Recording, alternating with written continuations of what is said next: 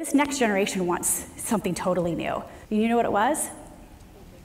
Childcare. More so than health insurance. It was childcare.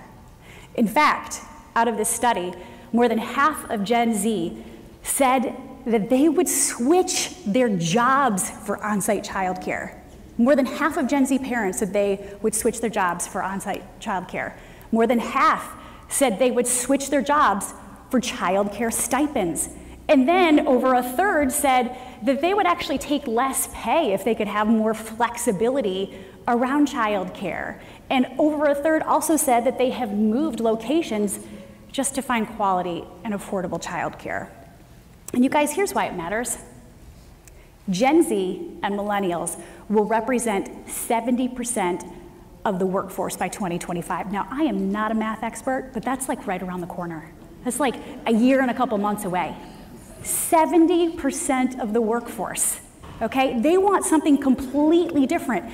So the companies who are like, ah, whatever, hey, if you're not implementing family friendly policies and listening to your people and this next generation of workers, if you're not already facing a hiring crisis, you're going too soon.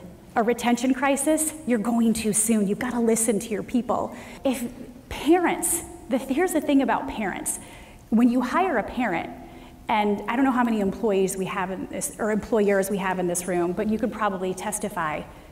When you support a parent, they are most likely the most effective, efficient, productive, and loyal employee you can find.